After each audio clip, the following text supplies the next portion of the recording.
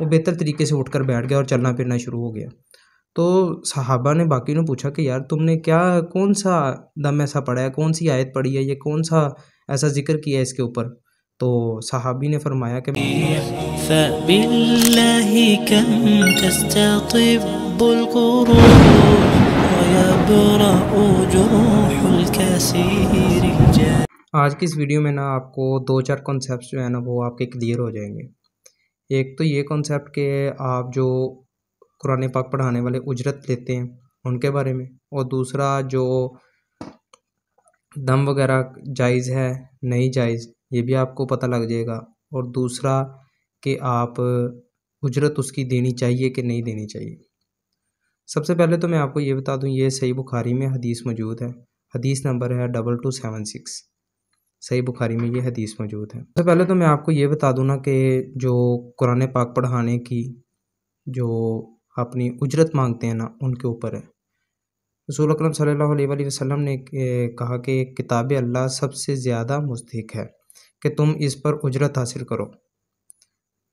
اور قرآن پڑھانے والا پہلے سے طے نہ کرے، البتہ جو کچھ اسے بن مانگے دیا جائے، لے لینا چاہیے۔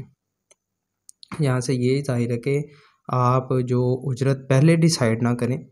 آپ کو جو پڑھانے، جس کے بچوں کو آپ پڑھاتے ہیں یا آپ جن کو پڑھانے کے لیے جاتے ہیں، وہ آپ کو جو دے دے، بلا خوشی آپ اسے رکھ لیں۔ نہ کہ یہ نہ کہیں کہ جی مجھے اتنی پہ، اتنی فیس چاہیے، یہ اتنی فیس چاہیے۔ کتاب الہی اس کے کئی زیادہ مستحق ہے کہ آپ اس کی اجرت لیں۔ کیونکہ قرآن پاک کی اجرت کوئی بھی آدمی ادا نہیں کر سکتا۔ یہ بلا شبہ آپ کسی سے بھی بات کر لیں۔ کوئی کوئی مسئلہ نہیں ہے، حدیث میں موجود ہے، آپ اسے خود جا کر پڑھ لیں۔ اور رہ گئی بات آج کی جو ویڈیو بنانے کا مین مقصد ہے کہ آپ کو بتایا جائے کہ جی ہم اپنا علاج کسی بھی بیماری کا کس طرح کر سکتے ہیں۔ لیکن یہ حدیث سے یہ چیزیں مجھے ملتی ہیں۔ تو آپ لوگ یا میں صرف ہم اسی وجہ سے غافل ہیں کیونکہ ہم نے پڑھا نہیں ہے۔ ایک دفعہ نا صحابہ کرام جو تھے نا، وہ سفر کے دوران کہیں پہ جا رہے تھے۔ دوران سفر نا، وہ عرب کے کسی قبیلے کے پاس کہیں انہوں نے خیمہ لگا لیے اتر گئے۔ اور انہوں نے سمجھا کہ، انہوں نے سوچا کہ یہ ہماری مہمان نوازی کر دیں گے، یہ قبیلے والے۔ پر انہوں نے نا مہمان نوازی کرنے سے بالکل انکار کر دیا، ہرگز ہی رد کر دیا کہ ہم مہمان نوازی ہرگز نہیں کریں گے۔ تو وہ اسی طرح بیٹھ گئے اور اتنی دیر میں نا، ان کے جو قبیلے کا جو سردار تھا، اس کے اوپر نا کسی سانپ نے وار کیا اور اسے ڈس لیا۔ اور جب ڈس لیا تو انہوں نے اپنی پوری پوری جان لگا دی کہ یار اسے نا کہ بہتر کرنے کی کوشش کریں۔ اپنے جتنے بھی طبیب تھے ان کے، ان کو بہتر کرنے کی کوشش کی۔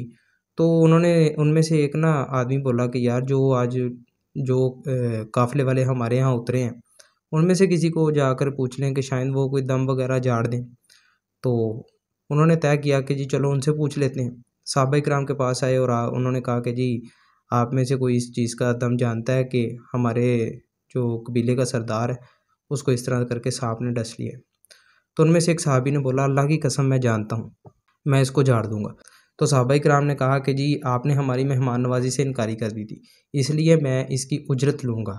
انہوں کے درمیان جو طے پایا نا، بکریوں کا گلہ جتنا بھی طے پایا، انہوں نے کہا جی یہ ہم اس کی اجرت لیں گے۔ تو انہوں نے صحابہ کرام نے اب جب دم پڑنا شروع کیا تو وہ اچانک سے نا جو ان کا سردار تھا قبیلے کا، وہ بہتر طریقے سے اٹھ کر بیٹھ گیا اور چلنا پھرنا شروع ہو گیا۔ تو صحابہ نے باقی نے پوچھا کہ یار تم نے کیا، کون سا دم ایسا پڑھا ہے؟ کون سی آیت پڑھی ہے؟ یہ کون سا ایسا ذکر کیا ہے اس کے اوپر؟ تو صحابی نے فرمایا کہ میں الحمد للہ رب العالمین، بس اتنا پڑھتا رہا ہوں اور پھونک مارتا رہا ہوں، تو بہتر ہو گیا۔ تو جو انہوں نے اجرت لی تھی، اس کے بارے میں بعد میں تذکرہ کرتا ہوں کہ پہلے یہ دیکھ لیں کہ ایک الحمد للہ رب العالمین، اس کے اندر اتنی طاقت اللہ تعالیٰ نے رکھی ہے کہ آپ صرف اور صرف اس کو پڑھ کے آپ اپنے کسی بھی بیماری کا شفا حاصل کر سکتے ہیں۔ تو آپ مجھے بتائیں کتنے لوگ جو ہیں جو دم کروانے کے لیے جاتے ہیں، پیر بابوں کے پاس جاتے ہیں، اپنے امام مسجد کے پاس جاتے ہیں، قاری صاحبان کے پاس جاتے ہیں۔ جب ان کو اتنا بھی لفظ نہیں یاد کر سکتے الحمد للہ رب العالمین۔ تو وہ مجھے بتائیں ان مسلمان ہونے کا کیا فائدہ؟ جو اتنا بھی لفظ خود نہیں یاد کر سکتا۔ اگر کر سکتا ہے تو یہ یاد کریں۔ بہتر اول تو یہی ہے کہ ہر مسلمان تقریباً اسے پتہ ہے کہ یا اسے یاد ہے الحمد للہ رب العالمین۔ تو بہتر یہ ہے کہ آپ کسی کے پاس جانے سے بہتر ہے کہ آپ اپنا علاج خود کر سکتے ہیں۔ میں یہ نہیں کسی پہ تنقید کرتا کہ دم کروانا جائز ہے نہیں جائز ہے۔ ہر چیز اللہ کا کلام ہے۔ یہ آپ بہتر طریقے سے خود بھی پڑھ سکتے ہیں اور جو اگلا جو قاری صاحبان ہے جو جو ہمارے امام مسجد صاحب ہیں، وہ بھی یہی کچھ کر کے دیتے ہیں۔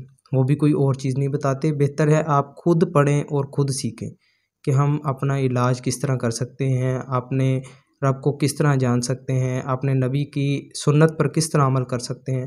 حدیثیں موجود ہیں، روایتیں موجود ہیں، قرآن پاک موجود ہے، سب سے بہتر کتاب قرآن پاک موجود ہے اپنے پاس۔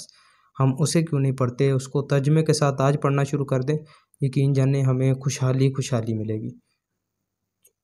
اور جو ان کے درمیان میں جو بکریوں کا گلے کا طے پایا تھا، وہ انہوں نے عرض کی کہ اب اسے بانٹ لیں۔ تو جس صحابی نے اس دم کو پڑھا تھا، انہوں نے کہا، نہیں، اس کو پہلے رسول اکرم صلی اللہ علیہ وآلہ وسلم کے پاس لے کر چلیں گے اور پھر طے کریں گے کہ وہ کیا کہتے ہیں۔ تو رسول اکرم صلی اللہ علیہ وآلہ وسلم کے پاس لے کر آئے اور انہوں نے کہا کہ ہمارے ساتھ یہ یہ واقعہ پیش آیا۔ تو اب اس کا کیا کریں؟ تو رسول اکرم صلی اللہ علیہ وآلہ وسلم نے آگے سے مسکرا کر فرمایا کہ میرا حصہ کدھر ہے؟